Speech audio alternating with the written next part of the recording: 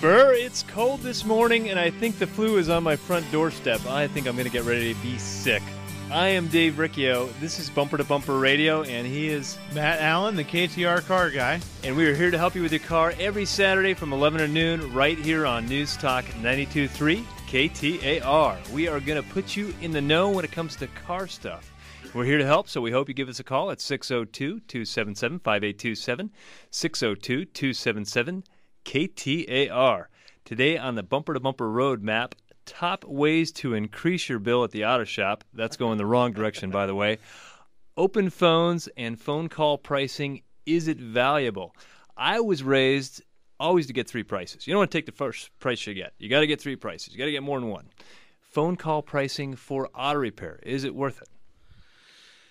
I don't know, David. You know, we we have this challenge every single day whether it's about a transmission or some complex repair or some simple repair.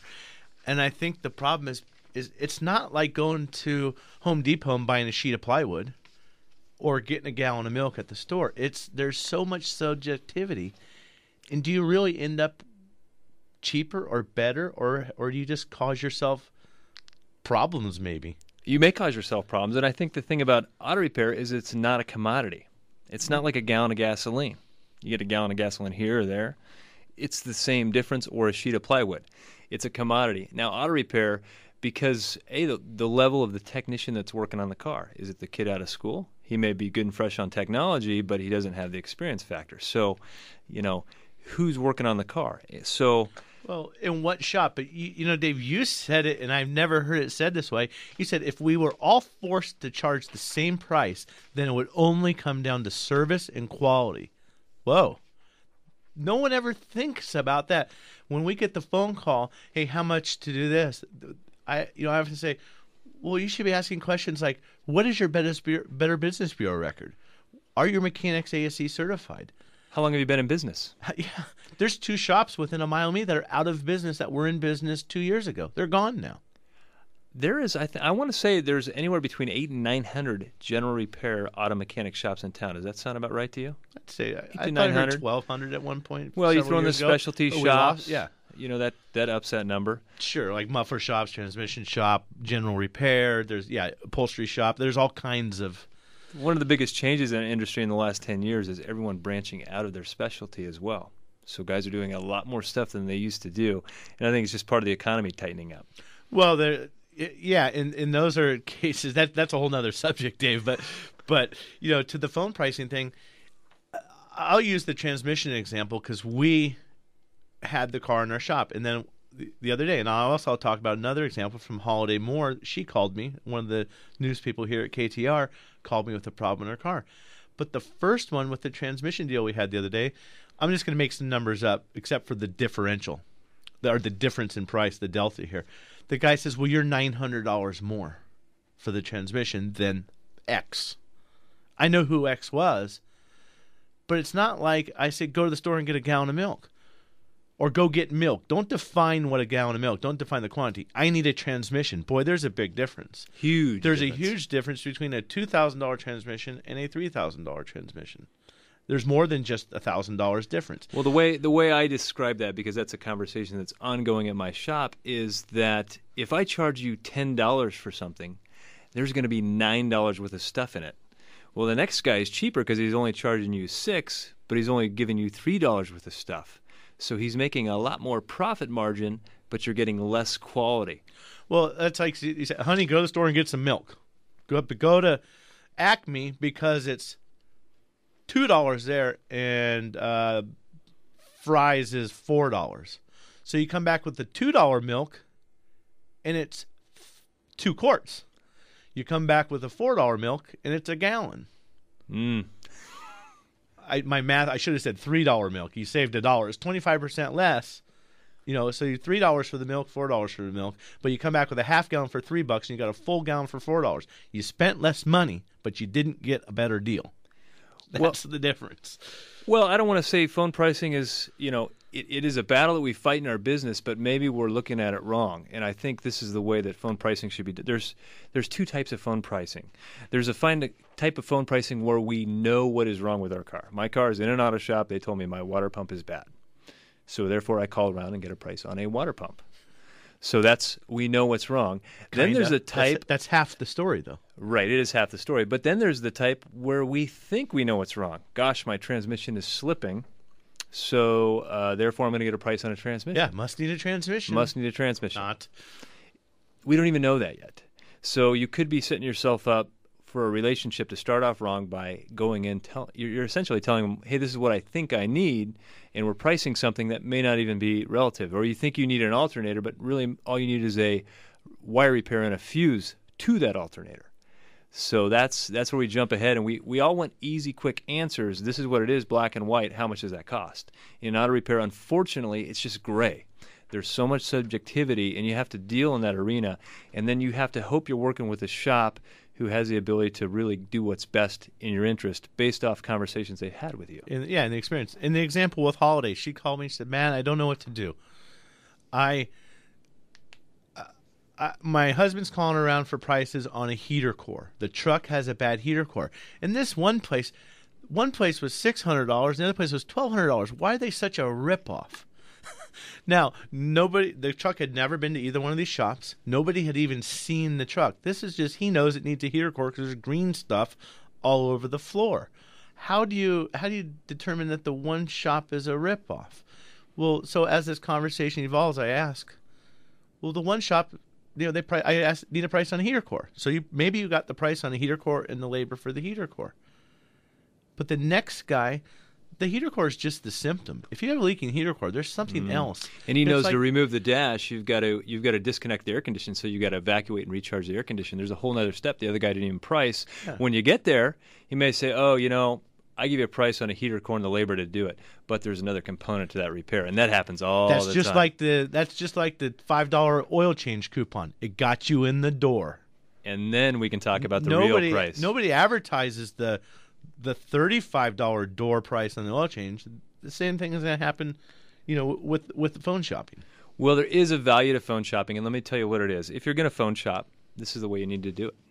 Okay, your car's at XYZ Auto Shop, and they tell you, you know, you're going to need to spend $600 on a water pump and timing belt and whatever it may be, and um, you know, just need your okay to get the work done. You know what?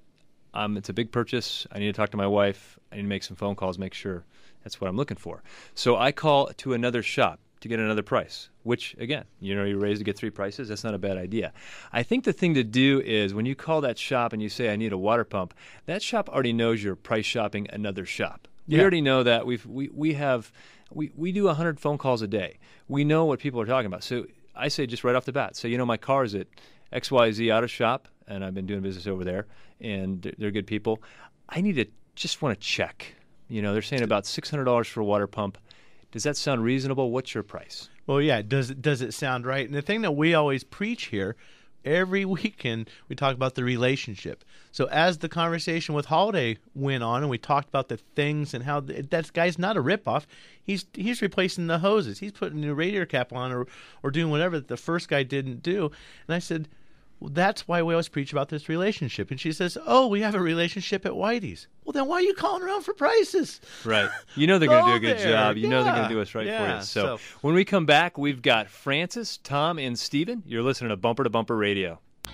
Well, welcome back to Bumper to Bumper Radio. I am Dave Riccio, the automotive therapist, here along with Matt Allen, the KTAR car guy, and we are here to help you with your car. And we've got open lines at 602 277 5827, 602 277 KTAR. And for those of you, you who know me, you'll be surprised to see I am wearing pants today. it is just that cold. Yeah, you are a short. It's because you're so hairy that you know that the, all the leg hair is like like you know you, you're wearing your own fur coat. You're It is my my mane of leg hair. and you've got the beard going now too, uh, like lumberjack. I grew up. I couldn't stand facial hair, and you know what? Something happened. I just I got tired of shaving. I am going lumberjack. I'm going to get some flannel too to go with it. so anyway, up first this segment, we've got Francis. Looks like a 2010 Hyundai Sonata. Go ahead, Francis. You're on Bumper to Bumper Radio. Oh yes, thank you. Um, I had an interesting thing happen. I think um, I went in and had a routine oil change, no problem, uh, very low mileage, you know, four thousand miles or so. And a week later, Well, I think we lost Francis on. Uh, looks like she cut out there for a second. Maybe lost the cell phone connection. Francis, if you can call back in, we'll check the line here in a second and see if you came back. But okay, well, we dropped out for a second. Let me try it again. Hang tight one second here. Hi. Fr- Francis, we lost you for a second. I don't know what happened. right? So you went in for your oil change, Yes. and uh, and then what happened when you got the car back? Or Hello. Francis? Well, maybe not, Dave. Give us a, give us a shout back. Well, let's go ahead and go with Tom in Mesa. Looks like on a 2005 Toyota Highlander. Go ahead, Tom. You're on Bumper to Bumper Radio. Go ahead, Tom. No, hold on, Dave. We got some issues here. Hold on a second. Now it's Tom. I'm I'm screwing up the phone here, Dave. I'm not I'm not doing this quite That's right. what you today. get for making a hairy leg comment. I know. Tom, are you there? Yeah, this is Tom. Can you Uh, hear me? We can go for it. We're having some little little disconnect between my brain and my fingers to It's the the telephone. cold. Operator error. what do you got going on with your Highlander? I love the car. It's all-wheel drive, and I take it up north uh, to Payson in the winter. Um, and I've been noticing that when I'm driving up a hill, it it when it it wants to downshift um, because it needs power, it it shifts really hard. In fact, I've had uh, friends spill their coffee uh, at times when its thing is, is downshifting. It's it's really hard, and I'm kind of at a loss. It runs fine in the valley.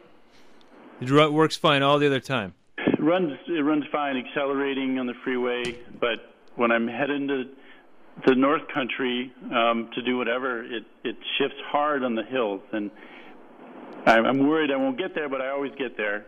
But it's shifting very very hard. You're going to get lucky today because a guy had to pay me a lot of money to figure this out at my shop. I was going to say that sounds reminiscent of something we. were uh, Highlander about. that I had, it was uh, it was all-wheel drive, which was a problem because we couldn't run it on a dyno to prove out the problem that this guy was having. But every time you'd go up north, you know that you're going uphill, and all of a sudden thing decides to downshift, and it downshifts like a like a brick. Uh, and he didn't know what to do with it. Took it to the shop. When you can't duplicate it, the shop doesn't know what to do. So uh, someone had already told him he needed a new transmission if that's what was happening. And we said, well, we're going to have to feel it. And so what we did was we hooked up a pressure gauge and a scanner, and I sent two mechanics. Uh, and we went to the first turnoff past uh, the Four Peaks, or Beeline, the first hill. Beeline Highway or by by the lake. And what we had to do is go up that hill, and we felt it, and look at the pressure gauge, and come back up the other side, and back and forth and back and forth till we determined it. And what it ended up being was a worn-out pressure regulator valve in the valve body. It's a U151 transmission. Is a transmission that's in there. So what he needed was a valve body. But it was hard to diagnose because we had to go do what he was doing in order to make it happen. In, in the first call was let's go put it on a dyno and then we can figure it out but it's all-wheel drive. Most dynos are not all-wheel drive. I said, well, let's take off the rear drive shaft, and maybe we can do it that way. But we can't. As soon as you pull the rear drive shaft, the computer won't It's let all it run. freaking out. But that's a pr- another example, Dave, of phone shopping or or, or shopping because you think you know what the problem is. I need a transmission. If you would, if someone would have gone to a different transmission shop, and because they, oh, we sell transmissions, you need a transmission. Okay, You bet. We'll sell you one. Here you go. Well, that would have fixed the problem because they would have got the valve body. Correct. the valve body was in the new transmission, but you could fix that. That Toyota is, is a very cheap fix, and And that's that's a huge change in our business. Transmissions used to cost. I mean, I remember the Turbo 350 for $350. I don't remember that. I heard about it. yeah. but uh, transmission used to be not that expensive. But now you're talking about a thirty or forty thousand dollar vehicle that came with two major components: one the engine, one the transmission, and now they cost three thousand, four thousand, five thousand dollars. So now we look at these fixes more often, and valve bodies have become a tremendous issue in our business. That's so what directs the fluid to go where it needs to do to make the hydraulic pressure to make things exactly, happen. it's a hydraulic brain of the transmission, and because they've made them for creature comfort to shift smooth, they wear out on a regular basis. So, what do we say? We try Francis again, Dave? go ahead, We'll Francis. for Let's see if you're there. Hello. Yes, I'm here. Okay, go ahead. We'll see if I. I think I don't know what happened there, but the floor is yours, Francis.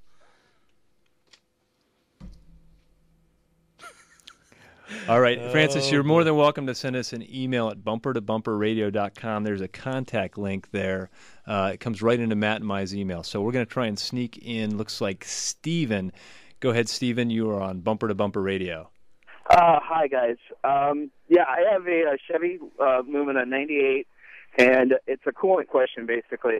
My uh, I keep going through a gallon of coolant once a month, and it it sucks all my coolant as fast as it can go, basically, and I don't know where it's going. My I checked my engine um, oil, and it's light brown in color.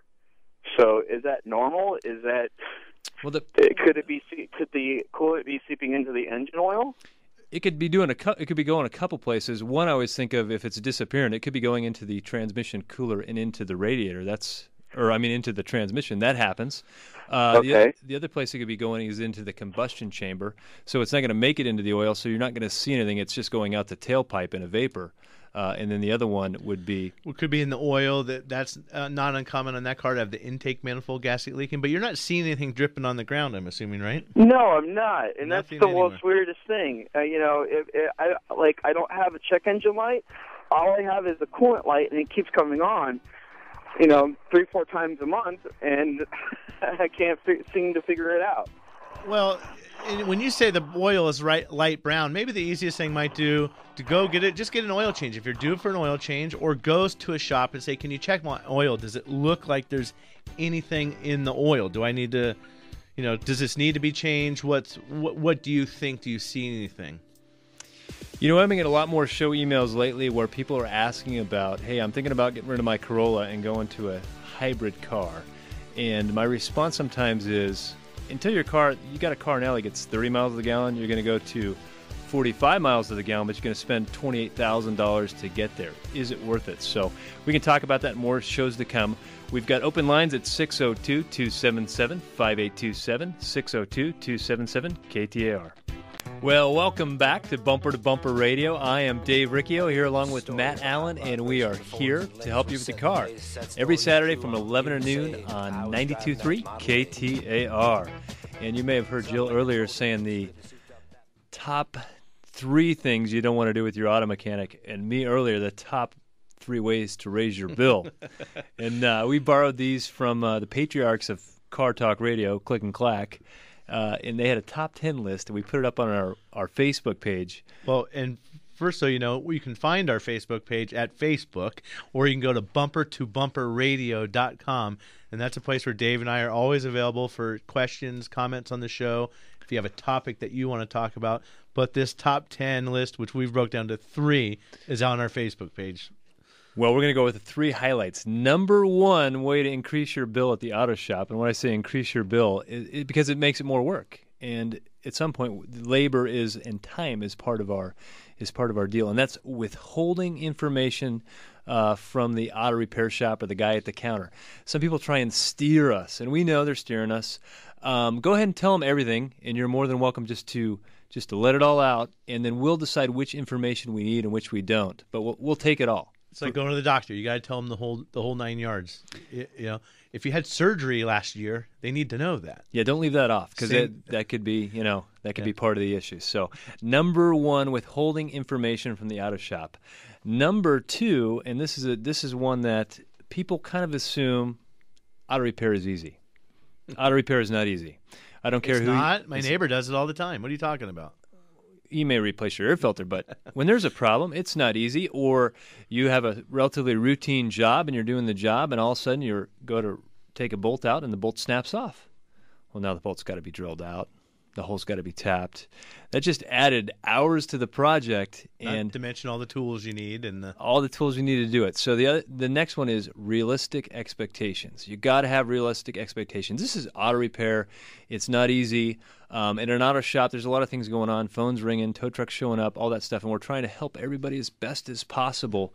But you having a realistic expectation when you come in that stuff happens and stuff comes up, and we can't get upset about it. Uh, we just have to we have to roll with the punches a little bit with auto repair. So that would be my number two, and I'll let you have number three. Number three, blaming your mechanic for other problems. That's one of my favorites. We call that the ever since. Oh, the gentleman's name is Everett Since. Yeah. You. I don't know about ever. Yeah, but ever since. Ever since you did this, it does that. I, Well, it's like we'll fix it. We'll fix an exhaust leak that's really noisy, and we fix that, and all of a sudden that's fixed, and now you've got another noise. yeah. Now you can hear that other that other deal. You know. So it Or- does. or whatever. It, it can happen that ever since we worked on a car that something else is an issue. But when you come back, give the shop the benefit of the doubt. That's the best way to have a relationship with somebody. Give them the benefit of the doubt. Um, again, there's a lot of good people in the business doing good work, and if they're reasonable, they want you happy because they want your word of mouth. Yeah, That's Good. important to That- us. That's why we're there. We want more of that business, so we always want to do make Right. you happy. Well, up first this segment, we're going to go with line one because that's what's on the screen. Go ahead, line one. You are on Bumper to Bumper Radio. I think that's Jason. Yep. Hey, good morning, guys. How you doing? Uh, we're doing all right. We got this phone beat this segment. I think. What can we help you with? I have 2004 Chevy Silverado 2500 HD uh, with a gasser in, engine in it. Uh, came out to the shop the other day, and I've got a little drip underneath the truck coming from the power steering fluid, uh, power steering reservoir, actually dripping out of the cap. So when I went to remove the cap, it seemed like it was under pressure. I got uh, probably a four-inch circle underneath the truck from where it was just dripping slowly and running down the back of the reservoir box and dripping onto you know other suspension components pulled the cap off, and I probably got a oh goodness, uh, a quarter of a quart of fluid out of there. Smokes. You know, four or five ounces, Is it- and uh, put the cap back on. And as soon as I started the truck up, no power steering, no power brakes. So after running the car for a little bit, revving the engine up, the uh, pump started making the whine, sucked the fluid down in. I started getting power steering back, but now, of course, the, the fluid's low. So my question is: Is there a? It's got a hydro boost system on it. Is there an anti-drain back valve or a one-way valve going from that hydro boost down to the power steering reservoir? I think Or I that- remember. I remember on the Hondas they had a screen in the bottom of that reservoir that was up on the fender, and sometimes that screen would get restricted and starve the pump. Well, that happens a lot. A, a lot of Toyotas and Lexus, but I don't. That reservoir and that pump. I'm trying just trying to close my eyes and picture it. That it's the can and the pump is all one assembly. It's not two separate. You know, it doesn't have a reservoir. That's and- correct. and a It's located at the bottom of the engine. Yeah, uh, you know that's a strange one. I mean, I I've never heard of, of that. I've never never seen that. I think what you need to do now that you've had the the fluid vomit out of there, it's all puked out. Get Right. Get good quality transmission fluid, or not transmission fluid, power steering fluid, or whatever it calls for, and just slowly add it and just get that thing adjusted right. Did you say you had it at a shop? Or you came out from picking it up? I mean, did you have an oil change? Now it's or- never been in a shop. The the truck sits a lot, so the truck had been sitting for about two weeks at this time. But it's not uncommon for this truck. I drive it for you know to the dunes or on the weekends, and sometimes it sits for a couple months at a time. well, the So biggest the question first is. time. Go Okay. ahead. No, I say the biggest question is why aren't you at the dunes? I was on President's Day. I'm getting ready for it. okay. Well, I'm I- working on the Rhino, and I see it leak out of the truck. You can't go to the dunes with a leaky power steering well, cap. I think you need Nope. to you need to get it cleaned off, get it filled, and you know work it today throughout the day. Drive it. Make sure you get that level adjusted, and then watch it and see what happens. Maybe check tomorrow morning Okay. to see if it does anything, and then you know if there's no leaks or anything, don't mess with it. Make sure that you're checking it under the same conditions again. So get it warmed back up, drive around the block, let it run for ten minutes. We have to do to make sure that we're comparing apples and apples. When we, I, when I we would start with that. And he was asking specifically, is there a some sort of valve or check valve in there that would keep make that happen? And I don't know enough about that pump to know. Yeah, and I don't know either. If you want to send us an email, go to our bumper to bumper radio.com. There's a contact link there. Send us an email. If we if we can come up with something that we think will help you, we'll definitely send you some information. And then if you would let us know what you come up with when it, if if you come up with a fix, it would be nice to Yeah, hear for about sure. it. And and from time to time, when people send us emails, we'll take it. We have a problem database that we go through, and we'll see if there's anything obvious that might jump out at us. So when you send us emails, we will run it by that database to see if there's an issue with that. So we're going to go with Jordan. Uh, go ahead, Jordan. You're on Bumper to Bumper Radio. Hi guys, thanks for taking my call. Nope. Uh, um, I've got an 04 Acura MDX, and um, the controls on the steering wheel, the the cruise control and the radio controls and the horn, kind of just one by one started going out over a period of about two weeks. And uh, my cousin's a mechanic. He was in another state, though. I talked to him, and he thought, it, you know, just off top of his head, he thought it might be a clock spring. But I just wanted to know if you all had any idea of what could have caused that and how to fix it. Uh, I'm going to answer this one because this one's easy enough. I can answer it. I'll leave you the easy ones, Dave. That's I get all the gravy. Uh, definitely, clock spring is what's going on, and it's just a, it's just the steering wheel. There's a wire in there that's connected to the center, and then a wire that's connected to the to the wheel in a sense, and it gets wrapped around quite a bit.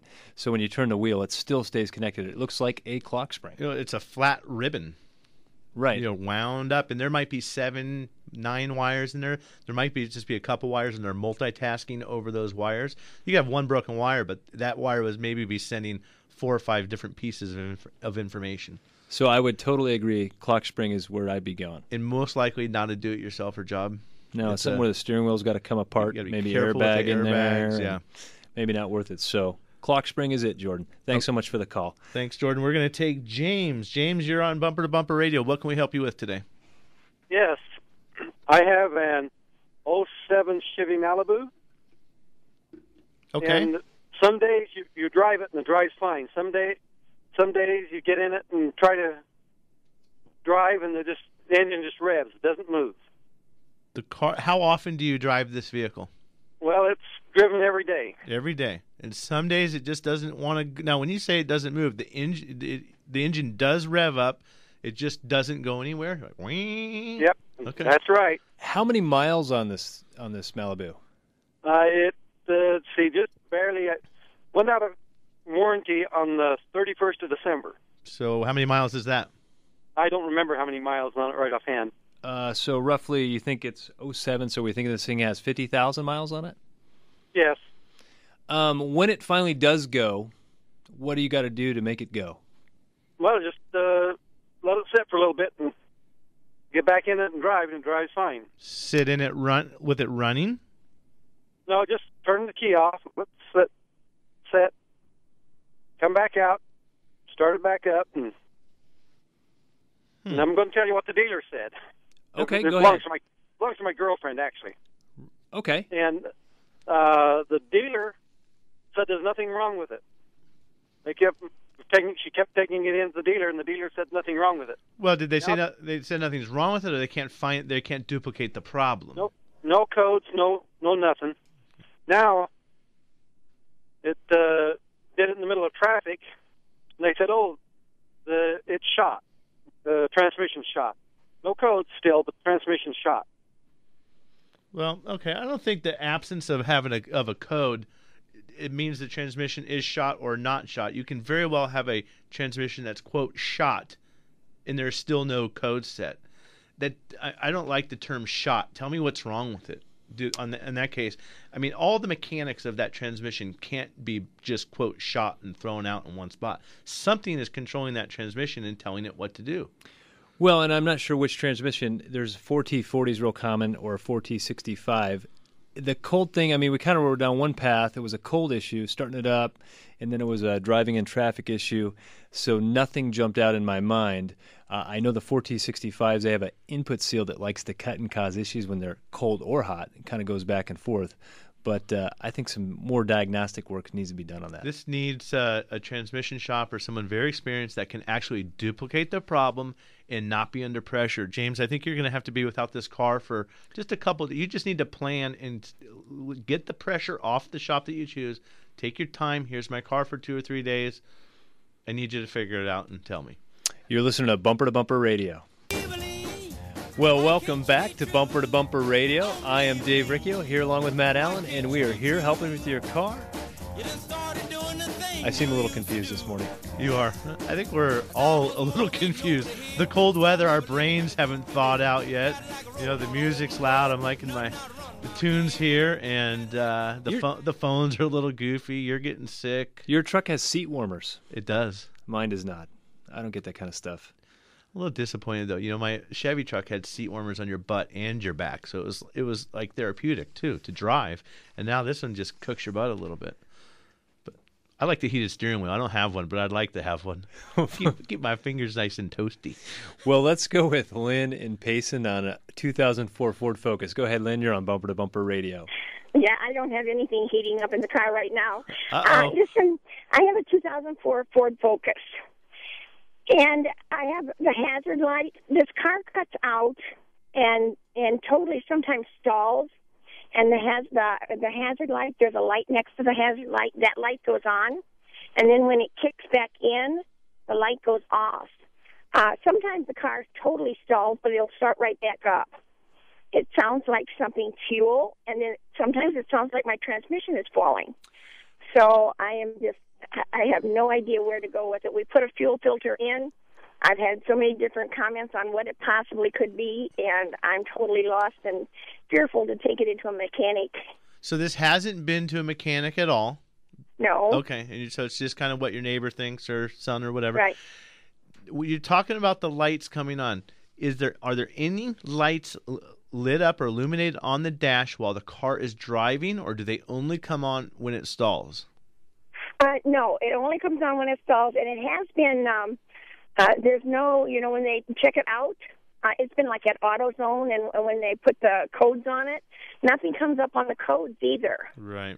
Okay. Well, you really need to. I don't. I don't know what your fear is of going to a mechanic, but you need to look and see if you can find somebody up there in Payson. We don't have a bumper to bumper shop in Payson, but we would certainly be willing to look. If you want to go to bumper to bumperradio.com and send us an email, I know there's a good shop in Payson. There has to be. There's a. You can check the search the Automotive Service Association maybe, and that would be a good place to to find a referral. Check your Better Business Bureau records, but take some time and take some notes and write down what's happening, what the frequency is, and take them some good information. And I don't think it'll be a big deal for a shop to find. Nothing to be afraid of. Yeah, and I think that there there should be a fear also of replacing a bunch of parts that we don't need just by trying this or trying that, you know, because we started with a fuel filter because that's fairly inexpensive, but what are the next pieces that we replace, you know, before we actually get to the problem? So, I think uh, starting with a good shop, you know, will reduce some of the fear. There's a lot of good people in the automotive business, a a good majority of them. Yeah. So I I I think that will help lower your fear. Yeah, nothing to be nothing to be uh, afraid about at all. Just talk and have good open communication. And you know, Dave, the other thing that we see sometimes is someone's trying to fix their car and they do X and Y, maybe that didn't work, so they try this other thing. And they do this other thing and they didn't do it right. So mm. now we come in Create we- more problems. And we create more problems. And, or we fix what you came in for, but now we've got this other goofy problem. You're like, that wasn't there before. and then we find out that you caused, you created a different problem by just not having the skill set or using the right tools or parts or whatever. And you, you, changed the game again. And honestly, our business has changed. There's fewer and fewer projects that you can do yourself, and it's you know we wish you could do them yourself, but with you need more computers, more test tools. There's more going into fixing cars anymore, and it's less. The shade tree mechanic is there's less opportunity for that. So, Lynn, we really appreciate the phone call. Let's go with Charles. Uh, go ahead, Charles. You are on Bumper to Bumper Radio. Hey, how you doing? Um, I appreciate you letting me talk real quick. Hey, um, you had two callers earlier. One had a hard shift and one had the antifreeze. And um, you have um, a throttle throttle body sensor or positioner. I had a Nissan truck that had a problem like that. It would shift down and up and down and up and down, and one of the wires was actually coming loose out of that. That was my first thing I wanted to say. As far as the um, coolant leak, there's a couple places can do oil analysis on the oil and see if there's coolant in there, and if they if it's internal, if it's external, they could probably put dye in it and use a black light. And then the last thing I want to say is, I notice a lot of people have the radios on when they're driving, and you can't. When you turn your radio down, sometimes you find a lot of stuff that you never hear. Yeah, could be right. going wrong. That's Well, why I leave my so- wife at home when I go drive the car because I need to hear stuff with the car. I'm teasing, honey. I really am. You're, you're, you stepped in it now.